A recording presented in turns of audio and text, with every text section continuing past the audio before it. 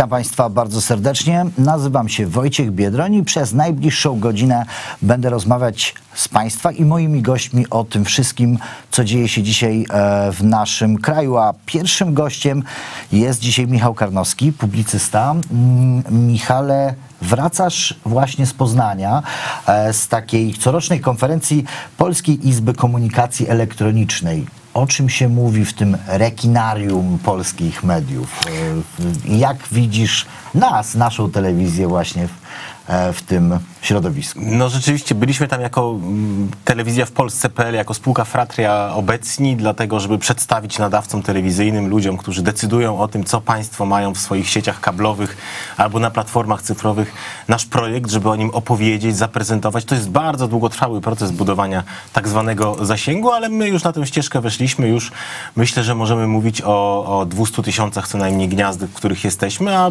te rozmowy brzmiały bardzo zachęcająco y, i, i, i bardzo pozytywnie. Podpisaliśmy tam taką umowę, bardzo ważną umowę z Polską Izbą Komunikacji Elektronicznej. Z jednej strony Fratia, z drugiej strony właśnie PIKE.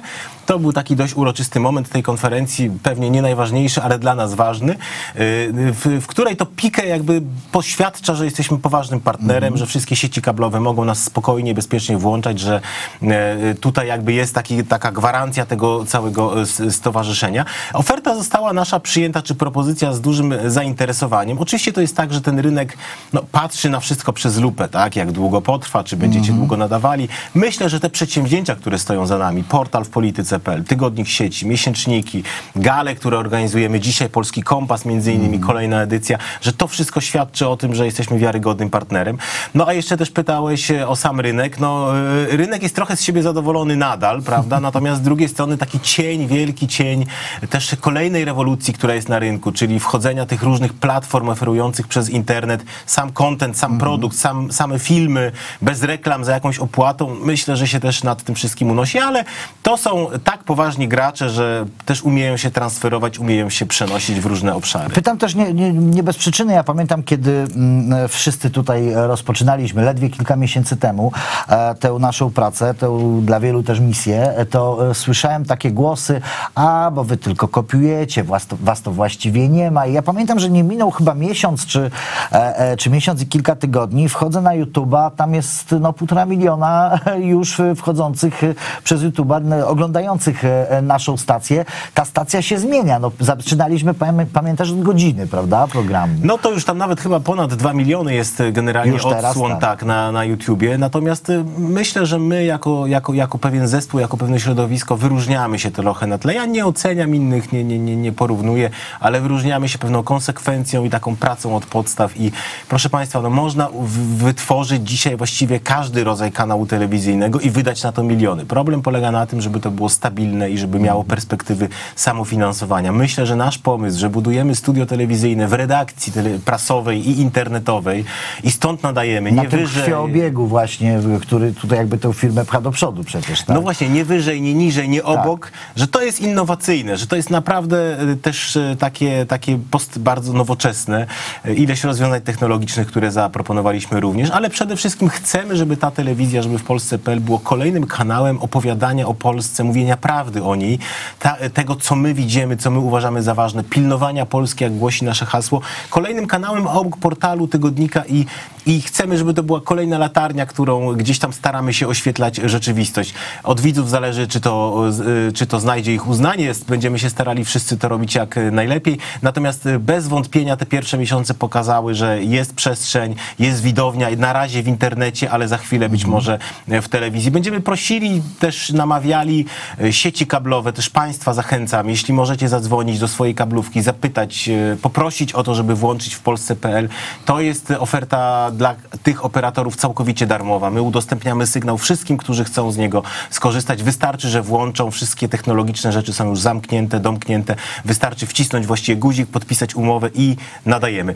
To ma, myślę, że duży sens. Y, Myślę, że Państwo też docenią, że większość naszych dziennikarzy nie skorzystała z jakichś ofert, a przecież prawie każdy miał y, innych mediów, także publicznych, że uważamy, że warto budować swoje, bo to jest stabilne, prawda? Media publiczne dziś są, jutro ich nie ma, jutro będą w innych rękach. E, Ciekawe jest też to, o czym nie, nie wspomniałeś, nie chcesz się przechwalać, rozumiem, ale e, zauważyłem bardzo dużą cytowalność, zwłaszcza rozmów, e, a nie tylko poli, stricte politycznych, ale także innych, bo przecież to, to spektrum jest dość szerokie, zwłaszcza i to przecież nie mówimy tylko o e, Polskiej Agencji Prasowej czy TVP Info, prawda, tylko mówimy też o mediach, no naprawdę dalekich ideowo e, od tego, co e, tutaj od wielu lat e, się dzieje w, naszej, w naszych redakcjach. To też jest takie uderzające, że rzeczywiście ten głos jest słyszany z tego studia. Jest słyszany, ale to bardziej zasługa zespołu niż moja, redaktor naczelnej Agaty Rowińskiej prowadzących. Natomiast bez wątpienia e, my musimy podkreślać i to warto ludziom mówić, że e, e, nie będzie Polski wolnej, mądrej i dobrze prowadzonej, jeżeli nie będzie mediów patrzących politykom, wszystkim politykom na ręce, które nie będą się tabloidyzowały. Bo ja też nie neguję tabloidów. One mają swoje miejsce na rynku, czy nawet media elektroniczne, tabloidalne. To wszystko ma sens, tak? I też mają swoją widownię, ale redakcje to są trochę mózgi, mózgi społeczeństwa. I, bez, i nie przypadkiem, na przykład w Niemczech są często deficytowe redakcje prasowe, utrzymywane przez wielkie koncerny, bo jest tam świadomość, że redakcja pomaga rozpoznać pewien interes narodowy, interes społeczny, dobro wspólne. Nie zawsze oczywiście to są dobre odpowiedzi, ale generalnie to jest ważne dla życia publicznego. I my trochę tak siebie postrzegamy. Chcemy, żeby telewizja w Polsce.pl, tak jak portal w Polityce.pl, jak tygodnik sieci, były poważnymi mediami. To jest nasza misja, w tym kierunku zmierzamy. Dynamicznymi, ciekawymi, ale poważnymi i to myślę, że, że, że, że przyniesie efekt. E, Przejdźmy teraz może do tych kwestii, które dziś się dzieją i dzieją się w ostatnich również dniach.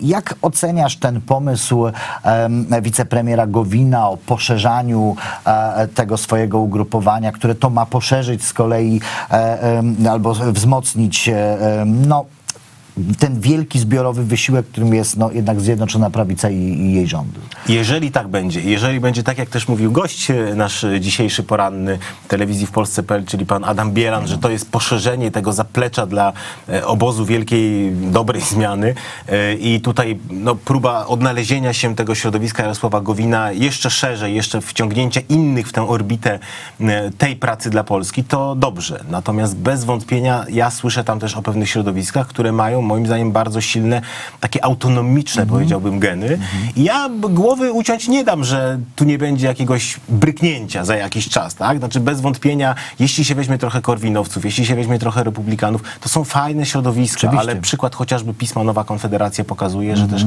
bardzo sceptycznie nastawione do obozu Jarosława Kaczyńskiego i nie jest przypadkiem, że e, no chociażby ta Nowa Konfederacja jednak dość szybko odpłynęła. To znaczy wydaje się, że mieli jakąś zupełnie naiwną wizję e, te, takiego państwa, w którym znika wszelka polityka, zni, znika jakiekolwiek starcie polityczne, tak, którym ten obóz właściwie, nie wiem, no, wygrywa i, i, i oddaje przeciwnikom to, co wygrał. E, nie mówię, że nie ma za co krytykować PiSu, tak, ale ta krytyka, która spada z tamtej strony jest jednak szaleńcza. Więc e, no, ciekaw jestem, tak bym powiedział. Na pewno, na pewno myślę, że Jarosław Kaczyński patrzy na to z dużą uwagą, bo to jest poszerzenie środowiska, które nie jest naturalnym głównym nurtem Prawa i Sprawiedliwości, bez wątpienia. I jest pewna masa krytyczna, która na przykład, w, nawet może to Jarosław Gowin tego nie planować. Znaczy to tak działa polityka, że Może się mu wymknie do że może mu się to wymknąć spod kontroli. On może mieć nadzieję, mówi, przyciągnę ich i wciągnę ich wspólnie, bo wierzę w ten obóz, ale po pewnym czasie oni osiągną przewagę na przykład w tych środowiskach i powiedzą, sorry, wychodzimy. Ostatnie pytanie, bo już czas naprawdę nas goni. A jak oceniasz to, co dzisiaj się dzieje na linii mm, Prawo i Sprawiedliwość, e, a Pałac Prezydencki? To wiemy, że wczoraj późnym popołudniem dotarły te poprawki e, do, pa, e, do pana prezydenta Andrzeja Dudy. No, czekamy na kolejne spotkanie, na odniesienie się do tych, do tych poprawek. Jak sądzisz w kilku zdaniach, gdybyś mógł No powiedzieć? ja mam nadzieję, że to wszystko wreszcie się skończy. Bez wątpienia e, Prawo i Sprawiedliwość bardzo ustąpiło prezydentowi Andrzejowi Dudzie. Znaczy w wielu momentach to jest taka no, quasi kapitulacja, bo jednak podstawowy warunek PiSu moim zdaniem, to znaczy zapewnienie, że te organy, które zmieniamy, czyli Sąd Najwyższy i Krajowa Rada Sądownictwa jakby zaczną na nowo, tak, że odetniemy pewną kreską. To jest opcja zerowa, przynajmniej był plan opcji No zerowej. ale ona nie wejdzie w życie. Już wiemy, że to będzie będzie albo bardzo długotrwałe, ale jeśli chodzi o Krajową Radę Sądownictwa, być może w ogóle niemożliwe, bo tam naprawdę w tym modelach, które się kształtują, wystarczy, że jedna osoba ulegnie presji środowiska i powie, było wszystko super, nie głosuje za zmianami, ma być jak było i jest katastrofa. Ale lepiej taka zmiana niż żadna. Ja mówiąc szczerze, do końca nie rozumiem postępowania prezydenta. Znaczy jakby politycznie nie, nie wiem, co tutaj było do ugrania poza osobistą pozycją, bo tutaj być może Andrzej Duda osiągnął swój cel, ale jeśli chodzi o reformę sądownictwa, to no, poza jej rozmyciem, to ja nie widzę specjalnego sensu. E, Drodzy Państwo, o tej e, reformie sądownictwa, generalnie o problemie polskich sądów, Michałowi dziękując. Dziękuję bardzo. E, Jeszcze raz, tak jak Państwu wspomniałem, Michał Karnowski naszym gościem był, a za chwilę o tym problemie sądownictwa będę rozmawiał z sędzią Adamem Tomczyńskim, wybitnym, wybitnym znawcą w tym temacie. Po krótkiej przerwie się widzimy. Dziękuję bardzo.